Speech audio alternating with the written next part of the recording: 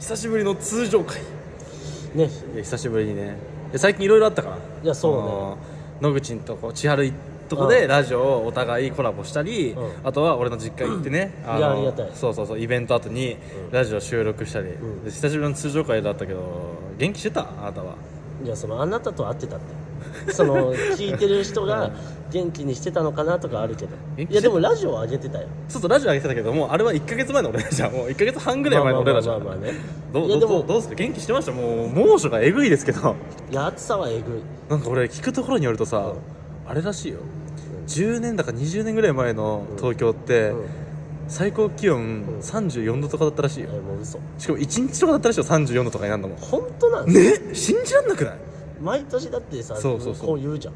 ね？いや本当に思う本当に思う。何年に一度みたいな。そうそうそうそうそう。だってさ信じらんない花粉量もさうん。毎年さあの 何？何十年に一度の花粉量って言ってるじゃん。うん。この暑さもさいや20年前とかもっと暑かったんじゃないのかなって思うけどね。でも本当うん。に記録としてはそうなんだ、らしいよ。わかんないけど。上がってんだ。らしいよ。わかんないけど。すごいな。いやねちょっと猛暑すぎてさあの四谷三丁目のあそこのスタジオに行く足もちょっとだけ遠のいてましたもんね。いやそうねもう。深夜熱々であそこちょっとなっていうねきついからね。うんそうでしたね。だから本当に久しぶりにうだしなんかな その今までさ千春のラジオもさ撮った撮ったけどさ撮りっぱなしで上げっぱなしでさ何もそのフィードバックとかあの後何やったとかも何もなくやってたからさちょっと一回ブレイクしようと思って普通に通常回としてブレイクしようと思あっていやありがたい。でやっぱ俺は本当にな、うん。千春。うなんかやっぱあんな感じじゃん。佐保がクズで野口が常識人。ネタも作ってるイメージだったじゃん、ねージはそう野口が頭おかしい。野口の方が？おかしくなかった？あいつ。いや俺らのラジオでも喋ったけうど、ん。あのー、千春がね、うん。上げてくれた千春のバーストストリームで、うん。俺らとコラボした1週前の回で、うん。それこそここで話してくれた、うん。にゃか陰謀論をうん。野口は長々と喋ってたのよ。あらしいというかその野口があの時言ってたじゃん。そうそうそう。50分ぐらい喋ってるからね。いや本当にやばいね。その50分喋るってことはさ、うん。考える時間この何倍いるんですかって話よあまあその場でパッと思いつきじゃないわけ そうだそうそう。そう、野口このにゃかについてどんだけ考えてたんだろうなと思って。やっぱあいつおかしいよ。やばいね。頭おかしい。それにね俺はちょっと怖かった。何が？なんかそのうやっぱあれもさあのー、チアルの方も方でもさ、俺らの方は50分撮ってそのまま上げたけどチアルの方でマジ1時間半ぐらい撮って、まあ、うん。ちょっと遂行して上げてたじゃん、んうん。でもそんなんだったら、まあ、あなたのメイン企画だし俺もなんかもう分かんなくなっちゃって、うその分かんなくなっちゃう時あったのよその どうしたらいいか。え俺に？いや違う違う俺にじゃなくてなんかそのそうどう関わっていこうかってことでしょ？このそうそうこのうん。千春対あの、うん。野口対、うん。あじゃあごめんごめんごめん佐保対俺に？松本のクズ対決にうん。野口がその司会者みたいな感じのところに俺はどうやって入っていけばいいのかなってずーっとこういやわかるわかる。わかんない感じだったのよ。でそのもちろんそのもう下も回ってこないし、うん。あー俺メインじゃないんだっていうね。俺もその主人公気質あるからさ。気持ち悪い。気持ち悪い主人公気質あるからさ俺も。思ってたから、うん。あそれでちょっと間違ったこと言うと、こう野口の目が怖くて。そんな。俺はめっちゃ野口のこと気にして喋っててあの時で後輩である一個も間違えんだよ。一個も間違いないよみたいな。あやっぱり野口さん笑ってないこの話もうやめようみたいな感じで。だったりしてうん。俺はめっちゃ野口のあのーああすごい今バスターミナルが近いから。ねもうす見ようとしてる。まあ今日も通常会って言いながら外なんだけどね。いやそうバリ外。ね、そうバリ外、俺はその野口のうん。様子をめちゃくちゃ見ながらうん。ラジオしてて、うん。千春でやった方は 本当にめっちゃ楽しくなかった、俺は正直。楽しくないな。ファーストストリームの方は、うん。ああなた別に感じなかった？野口のその圧力。いや俺もやりにくいよなんで？こう自分からやっぱクズエピソードを言うってよりかあまあそれはねまあそうそう。あなたに言ってもらったりとかそれは思って俺も他からじゃん。そうそう自分から言うようにしてたけど、でもやっぱね俺尽きちゃって途中でもう猛スピードで喋りすぎちゃって俺は、あの最後じゃあロキちゃんさん最後なんかありますか？って言われた時に千原野口にしたので、あのもう大丈夫ですと言ったもんね。いやもうね。あったらいけないそんなことやっぱ情報量っていうか、用意がすごいからね。うんそうそうそうそうそう。でそれに追いつかなかった。しかもさその女関係、あとおお笑い関係お金関係でそうだったら何だと思ってクズっぽくなるの？もう俺はもう何も思いつかなくてもう全部喋っちゃって、ん。あと俺が知らないクズも、あなたはいっぱいあったし。ああまあまあまあまあまあだってそうあのね終わってからも聞いたし本当に知らない結構、うわ俺も引いちゃったやつ、うわっと思ってそこでも言いたくないやつ。ねえよそんなそんなんねえよ。じゃ守ってるけどさ、うん、いや、うん、俺はやっぱ低いだと思って行動してないのよ。自分で。まあまあまあまあ、そうだからその引くやつはないよって本当に思ってる。あ本当に？あそっかそっか。いやいやまあまあまあそうねそうね。いや,、まあ、いやいつかちょっと時効だったら言うわこのラジオで。そんなレベル？あの非公開にして。あまあまあまあ、まあ、非公開にして。じゃあその俺と前が聞けるだけや。そうそうそうそう URL を。限定公開にして。アルバムや。でさあのチアルを呼んだ回はあったじゃん、うん、であれでやらせてもらったのはもちろんこのラジオでも振ったけどにゃか争奪戦ね。あやったね。にゃかああなんだそのテンション低い感じ。いや違うだってそのさそのあんた一人のもう盛り上がりよ。さあ聞いたら分かるけど、うん。まあ、あ俺が一人で「キャー!」とかって言って「そんなにね」とかって言って俺が一人で。でも他の3人は、うん、もう本当にいらないニャ感を、うん、ただゲームやって、うん。っていう流れだったじゃん、うん、そうね。それをさ、まあ、にゃか争奪戦っつってにゃかにゃかにゃかにゃかにゃかこれを何秒続けられるか、うん。一息で、っていうのをやったのよ、で優勝が野口で、まあ、25秒、う当の本人である僕はまあ14秒ぐらいだったわこけ。れ本当なの？あれきつい。いやこれね。ショートでもさ、うん。やったじゃん、ショートでも。あの時もショートも15秒のつもりで撮ってんだよ。うん。それすらもう無理だったから。えおい何秒ぐらいやで15秒だし15秒の中でも俺息継ぎしてるし後半言えてないしあの動画でもあやば。そうあれむずいんだよ。で俺俺、あの研究室隣の、同期の大学院同期の、あの引戸君ってねたまにラジオで出てくるけど、引き引戸君も、白レンガのラジオをすごい毎回聞いてくれるのよ。いやありがてこの前研究室バッと入ってったら「うお!」っつって引き引戸君一人だったらしくて、大音量で白レンガの「ちょっと待って僕らは見を止められるラジオ」を研究室で流して研究してたのよ。そのイヤホンとかじゃなくてね。で俺も別にそんな今日は別にそんな気入れて、あの作業するわけじゃないから、ああいいよいいいよいいよそのラジオ別にあの大音量で流したままでいいよ」って言った言ったら「あ違う違う違うこれあの白レンガのラジオ今聞いてんのよ」って言われて「あじゃあちょっとやめてもらっていい? 」っつって。普通のラジオだと思った普通のラジオだと思って。白レンガのラジオ聞いてて。で「いややろいや佐藤君」って「佐藤君あ俺佐藤弘樹なんだけどここで初公開なんだけど」いやじゃああんま言わないようにしてバンバン漏れてる。で「あのじゃ佐藤君いい?」っつって「これにゃかそうだっすね。俺これ何聞かされてんだと思ったわ」って言われて「いやまあそうかな。でもこれちょっとむいや意外と難しいのよ」っつって「いやそんなわけないだろ」って言われて「いやこれね15秒で限界点くるよ」っつって「嘘つけ!」っつって研究して「じゃあ引き君もやってみる?」っつって「やるやるやる」っつって「にゃかにゃかにゃかにゃかにゃかね」っつって「分かった分かった」じゃあ行くよ。よーいにゃか!」っつって研究室にされてるよ「にゃか!」ってやって「にゃかにゃかにゃか」ャカチャカニャカチャカチャカってやってたら、うんうん。まあ、ヒロ君も力尽きたわけよ「うんえー何秒?」って言われて「うんあの16です」っつって「えーむずーっつってて。ヒロ君も「あこんなきついんだ」っつって「ええ佐藤君何秒だったんだっけあ俺14秒。あニャカはもらえんのか」っつって。ヒロ君ギリ？ギリ俺もニャカもらえんのか」っつって。て、まあでも優勝商品だからね。ああそうだね。25秒に勝たないと野口に勝たないといけなかったえでも俺もさ20秒いかなかったよあなたも。いや言ってて。いや18とかよ確か。嘘つ今やってほしいわじゃあ。じゃあ今やる？うん。いや絶対もっといけるって。いやその今？改めて？10何秒じゃなだから。14秒とか？いやこれね俺思ったけど動画見て、こうみんなふざけてるんじゃないかっていうのらい短いの。この後なんか特にもう、うん。その早い段階でもう「にゃーか」みたいな声出し始めるじゃん、もこれやってんなって思ったもん最初は。でもこれ滑舌もしっかりやんなきゃいけないからね。いやもちろんもちろん。噛んだらダメっていうそうそうそうそうそう。噛んで止まったらもう終わりだからじゃあいくよ、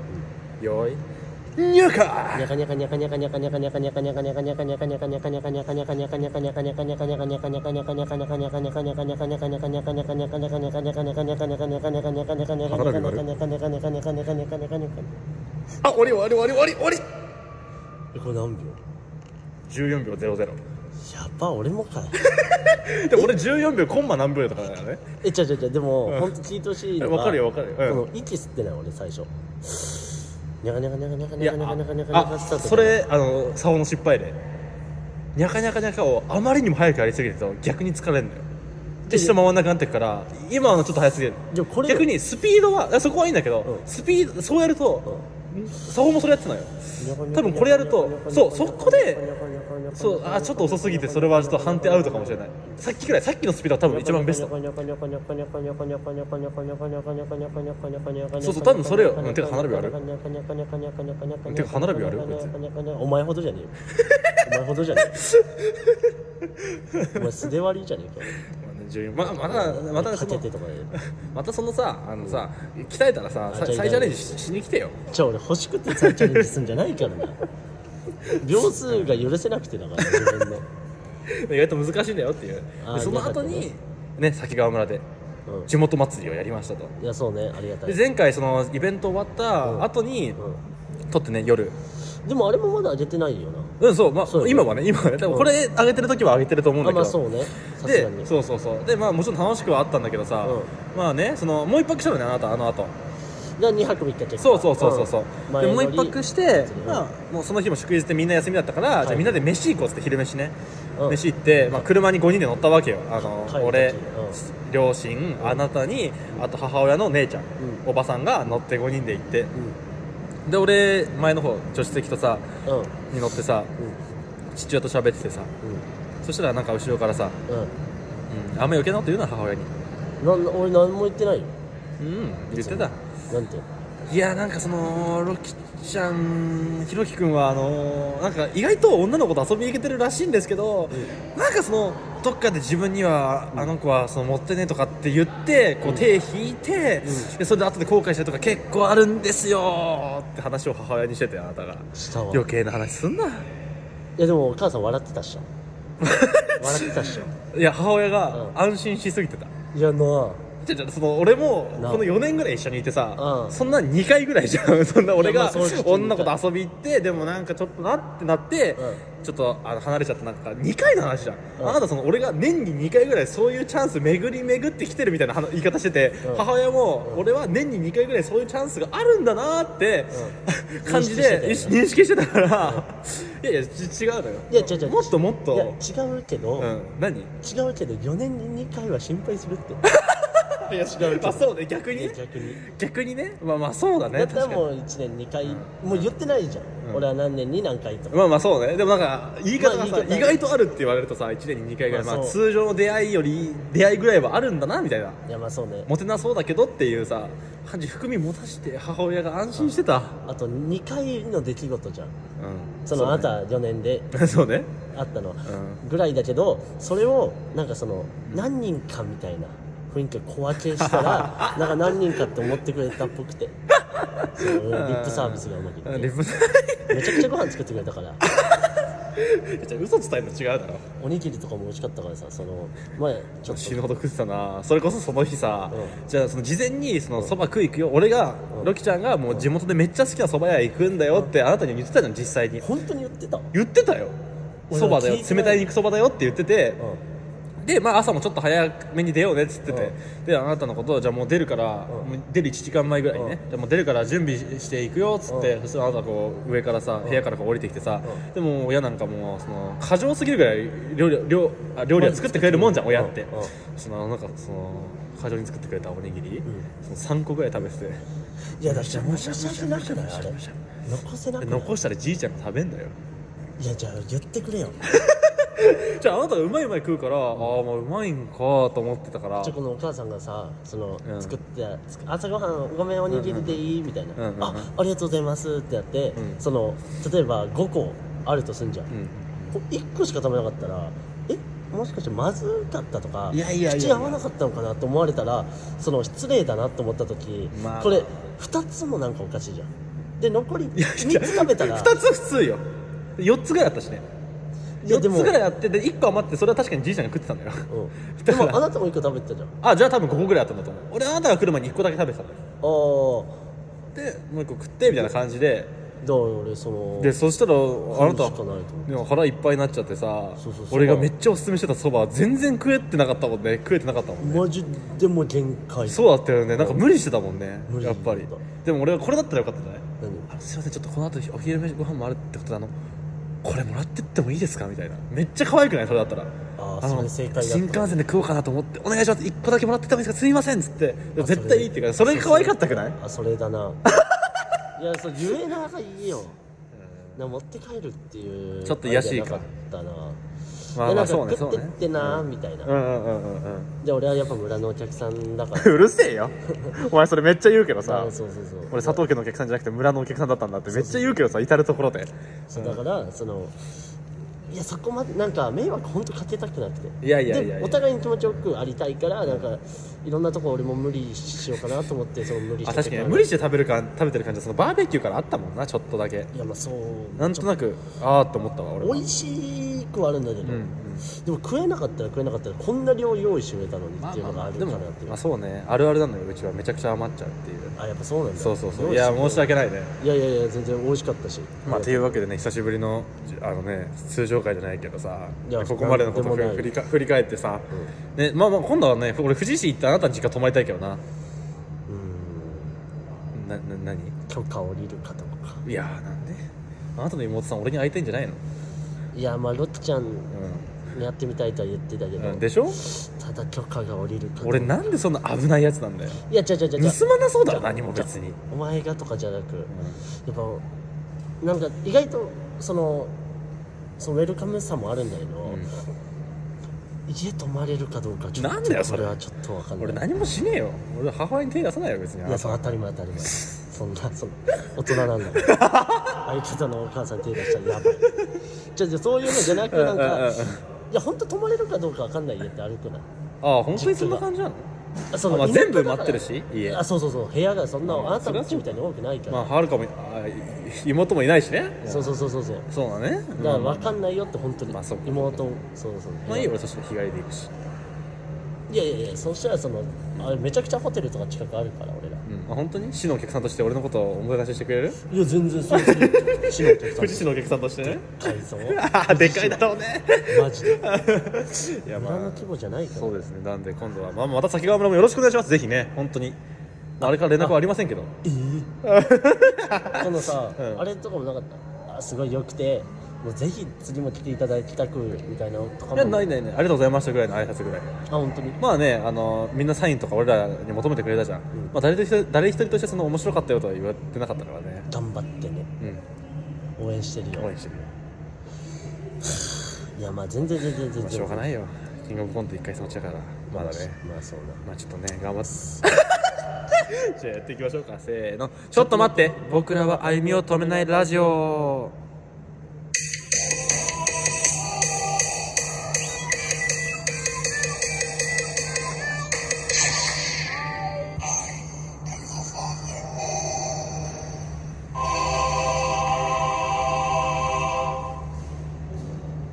ということでね、うんということで。あのー僕がうん。その、最近バイトでそのゴミ回収やってるじゃん、まあそうねゴミ回収の話結構聞くしね。そうそうそうでゴミ回収やってたんだけどそれをやめて最近日払いバイト、そうそう日払いバイト。イシエットチェンジそう。えどんぐらい前？あまあでもでも本当に最後は7月31日で7月31日とかまあまあまあ今がね8月の頭だからまあまあそうかそうかそうかそうそうそうええあそうなのまあその前からちょっとずつ日払いバイトは増やしていくまあそうだねそれは知ってたよ俺そうそうそうそうで日払いバイトあやめたんだしやめた気づかないもんだね俺もそうあなたがね意外とこう本当気づいてなかったこれに関してはおかしいとは思ったなんか急に4時半だよって言ってみたり、ん。あなんかねいつもの集合時間もう別に2時ぐらいで終わるから何時でもいいよって感じだったけど、うん。ちょっと4時半以降だなとかってなってきたり、うん。なんかその後もね日払いもあれこいつこんな働ける子だっけ？っていうのは確かにずっとあったんだけど、うん。確信には変わんなかったそれは。ああなるほどね。うわす気づかないもんだな俺はその配偶者の変化に。配偶者じゃねえ 俺の先生曰くね相方って配偶者だから。えあそうなんだ。そうなのよ。うんあそうなんだ。日払いのバイトは最近？そうあ夫がそうそうそうあああ俺妻なんだ。お前はそうああそうかそうかそうか。あれじゃん。めちゃくちゃあのなんだっけ？家内内菜内職じゃん。あ。あなたあれ内職じゃん。もああえでどういうこと？あなたは外で何してきてんの？う外で俺最近コンビニバイトとかうん。うん。してるよ。うん、家庭成り立たんねえって。子供産めねえよ全然。無理無理無理そんいやなんじゃ。まあそう確かにあなたの体 で俺がはちょっとまだ出来上がってないから主婦そっちじゃねえよ。俺13歳の女の子とかじゃねえよおいやめようぜこんな話。おい何かに引っかかりそうだわ。かんないけど。なんかそのジェンダーのなんかに。ちょっと気持ち悪いしな。ちょっと気持ち悪いし。いやいやいや。でその、うんうん最近日払いバイト行くようになって、はいはいはいはいはい。であれ行ったことある？何？日払いバイトってもうまあ日払いバイトはあるけど。面接なしで。そうね。でもう本当にこういう人来てくださいっていうか。面接ありのやつもあるけどね。ああるの？そう。え？あのイベント会社への派遣とかもう少しちゃんとしたやつとかだと。あーなるほあそうじゃなくてコンビニとかに派遣されるやつ。そう。タタイミーとかちょっと一緒一緒一緒えー、あそうなんだ。で俺シェアあシアフルもう聞いたことないんだけどな。いやもう最近あ YouTube でバンバン CM 本当に？あそうなんだ。もう有名女優とかがもうバンバン CM こう嘘つけよ。シェアフル。誰が出てんの？嘘つけよ。いや本当にあれとか福君とか出てんじゃないかじゃあ有名女優じゃねえだろ。苦し紛れすぎるだろ。なんで女優ってのは俳優さんでいいだろじゃあ。総括有名女優とか出てんだけど。でそれであのこの前あのパセラ。ああパセラあれかカラオケ屋さんみたいな。そうカラオケパセカララオケ屋さんじゃないみたいなカラオケ屋さんでしょ？そうあの綺麗なね。そうそうそうそうそうそうマジで綺麗。ねそうだよね。本当に。結婚式場もあるし宴会場みたいなのもあるのよ。へえ。あそうなんだ。そうそうそう。大大人数で打ち上げみたいな。あそうなの？それは宴会するようなの？それともカラオケするようなの？いやでもね宴会メインだと思うんだよね。あそうなんカラだオケも1個しじゃあかない別にカラオケもあるってこと？その個室みたいな感じであそうなんだパセラって。でへ部屋内に、うん。その飲み放題のその取り放題とかのうん。缶の、うん。そのお酒がバーってこう並んでんの。え冷蔵庫みたいな中に。個室それぞれに？そうそう。あいやあ、まあ、宴会場みたいな形ある。あなるほどねなるほどね。そうはいはい。はい個室は普通のカラオケ。うんうんうん。みたいな部屋とみたいな。であれ絶対お通しだっけ？あのハニートーストみたいなやつ。お通しじゃあれお通しだっけ？でかいボリューム満点。ああれは何注文して出てこないの？いやそうだろ。あそうなんだ。お通しであれ出てこねえよ。あそうなんだ。あ あれカラオケ屋でお通しあれいいね。パセ そうだよね。パセラといえばあれなんだけどななんか個人的に。いやそうよねそうあの美味しそうな。ねそうそうそうそう。いやでもねあれよく見てみると、ん。意外と耳だけじゃねえかなって説もあんねん中のうまい部分切り取られて耳だ嘘？あのなんか空洞なことある？全部硬いとこってこと？いやわまあかんないんだよ、まあでもなんかうまそうだよな。まあ確かにね。うんうんでそれ面接っていうか、はいはい。そのあ夜勤で入ろうと思って、うんうんうん夜10時からうん。朝の8時ぐらい、おー。めちゃくちゃ入るよ10時間。おおすごくない？休憩1時間で？9時時え間何度ぐらいもらえるのそれ？でもね時給かさすがに。そう時給1000 200ぐらい？さすがに。もうちょっと。1350とかあったかなちゃんと。それ深夜料金で？そうそうそう。あかあ1100円ぐらいか。かな。あいや、はいはいはい。シャーフル1200円以下ないって書いてあったね。平均確かだからでもあれでしょ深夜時給にして1350円でしょ？かなわかんない。あーちょっとはいはいはい。ちゃんと覚えてな。いでもお金はちゃんともらったの。うんうんうんうん。でそれ入ろうと思ってその概要欄というか誰来てほしいみたいなのあるじゃん。あまあそうね。じゃあ未経験者大丈ああはいはいはいはい夫あじゃあ全然いけるんじゃん、うんうんと思ったんだけど、うんうんそのなネイルうんうんうん。罰。ああまあそうね。しょうがないよなそれは。ピアスバツはいはいはいはいはい。で髪型はうん。茶髪と、うんその色付きうん。ダメってこう書いて。あるおおそうなんだ。派手な頭髪ダメ。おおそうそうそう。これん？引っかかった。ちょっと待って。スキンヘッドってどっちなんだなっていうのが出てくるんだよねえスキンヘッドって派手な髪型なのか地味な髪型なのかってこと？そこわかんない。でもその僧侶目線から言ったらもう地味よ。だって全てのその、うんあれ、うん。その欲をういだ結果こうなった。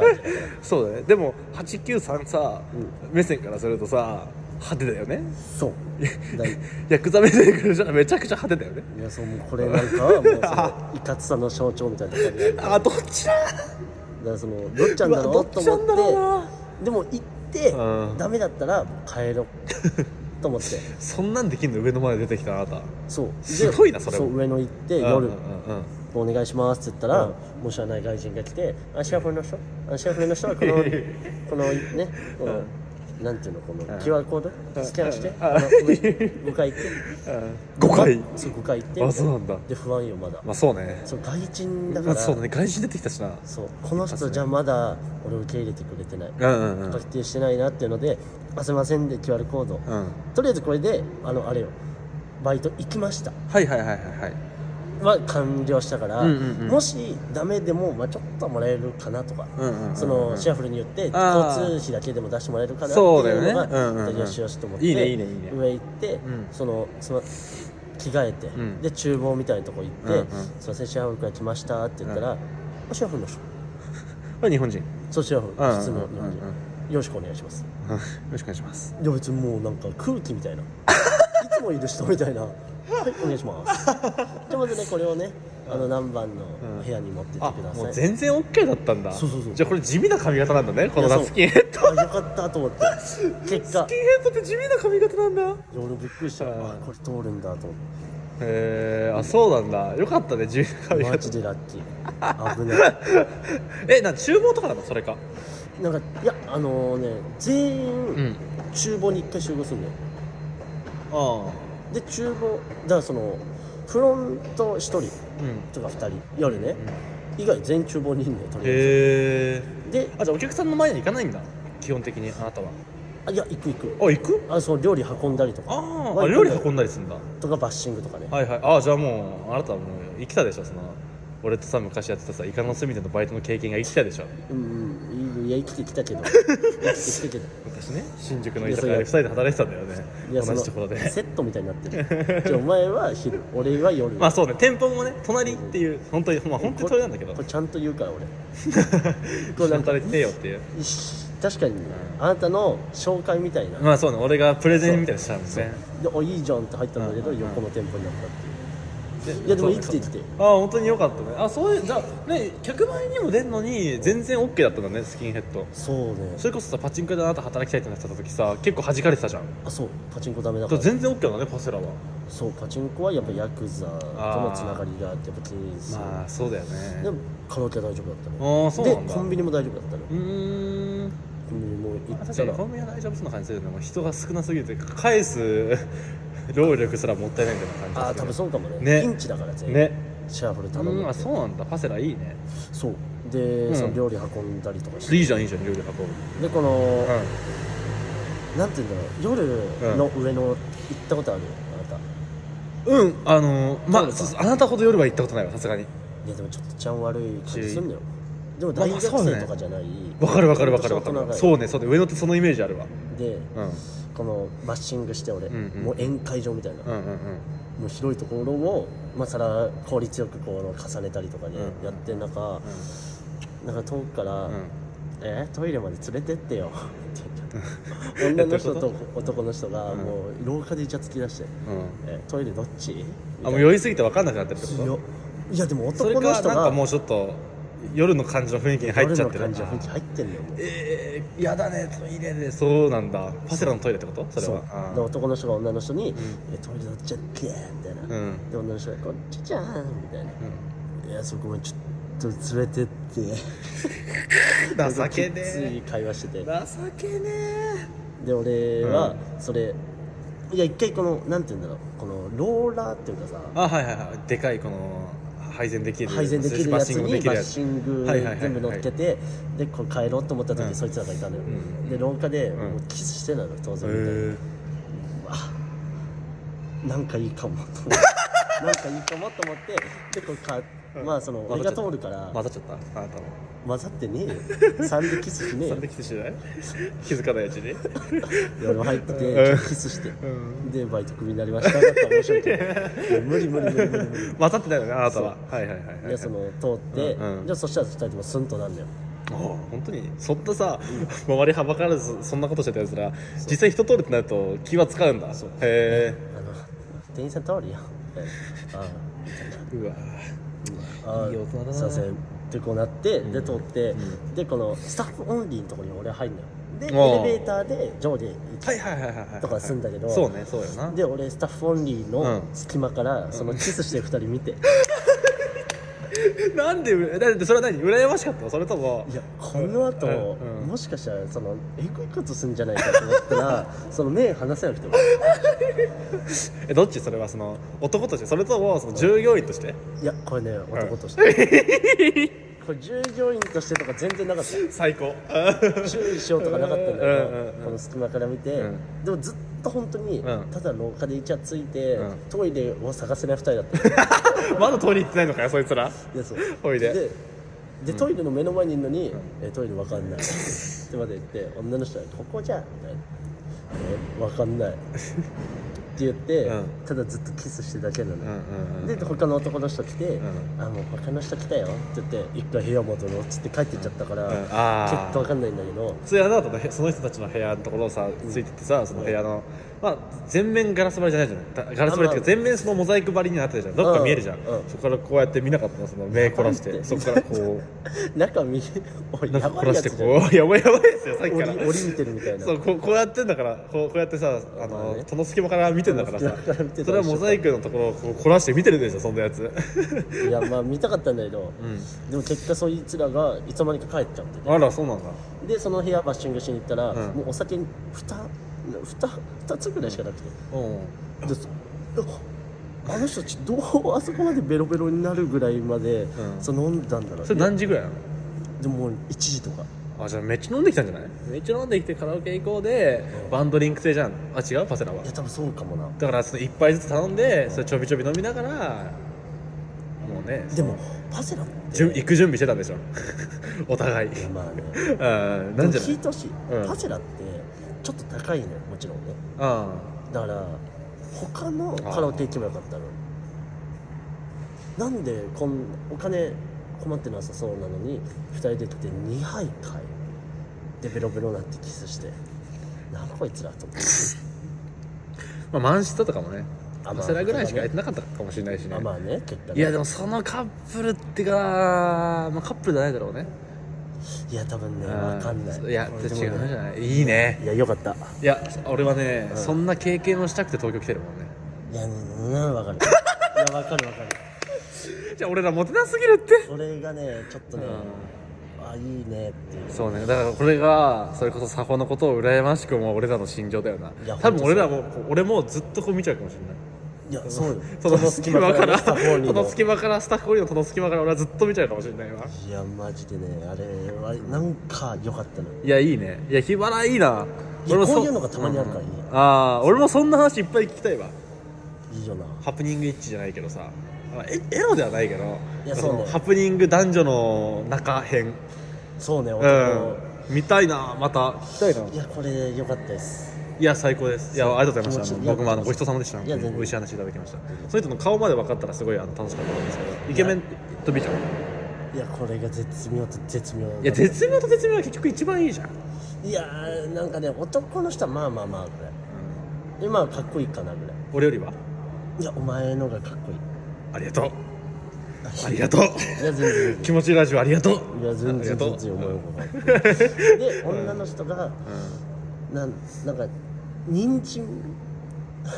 なんかねあちょっと。人参みたいな顔してたの。なんて言うんだろうななんか細い人参。いやそうそうスレンダーですごいスタイルのいい女性だったあ顔が顔が人参。馬っていうか人参みたいな顔してて。俺好きだけどね。でも体ふくよかなうん人参。いやいいじゃんいいじゃん。それそうそうそう。最高じゃん最高の夜いやでもそれにしても。でも俺も気持ちよってたから。うん。気持ちよくそうそう見てるだけでそう酔えてたからもう全然楽しく見れて。いやーいいな嫉妬もせず別に。ああそうだね。ちょちょうどよかった本当に。そうかもなそれは。い。いやそんな話また聞きたいですわやっぱり。じゃあそうね、ん。いや全然まいやいやなんか気持ちよかった。俺もありがとう。いやありがとうございます。すすごい気持ちいい話を聞かせてくれましたありがとうございます。ヒバラバイトいいですね。いや最高です。いやそうですね。ちょっとねまたね取りためなきゃいけない。いやそうね。ねちょっとねカツカツになってきてるねだんだもうんいよいよ。そうね。まあこういう形で撮るのもねそんなうるさいどうなんだろうね。うるさいんかなやっぱり。大社うるさいやそうかもな。じゃあそうだね。あとなんか皆さんすいません。ちょっとここまで聞いてくれる人も多分いないと思うんですけど、あの前回収録したさ4本分、多分あれほとんどに、うあのノイズ入ってますね。ん いやそうね、うん。なんでかわかんないけど、ね。なんでか分かんないけど。前回のも入ってたし、そうなんだ、うん、入ってた。後半の方にめちゃくちゃ入ってた。で申し訳ありません。ちょっとちょっと原因わかんないんですけどちょっと気をつけてあの収録今後しますんでよろしくお願いします。すいませんお願いしますというわけで皆さんバイニャーシコシコシコシコ。ちょっと待ってくれ。やばいわ。待ってくれ。待ってくれ。最後まで終わり。最後もう一回ちゃんとちゃんとちゃんとやろうなそんなお前。ムラムラしすぎよ。急にそんな話して。ニャカニャカのうん違うやつ出そうと思ったら、あ本当にで主のつもりだったのうん死と主はほぼ一緒だまあ確かにねじゃあもう一回ちゃんとやるよじゃあ皆さんバイニャーコスコスコスコスコスコスコスコスコスコスもいやもう分かんないもう本当コスト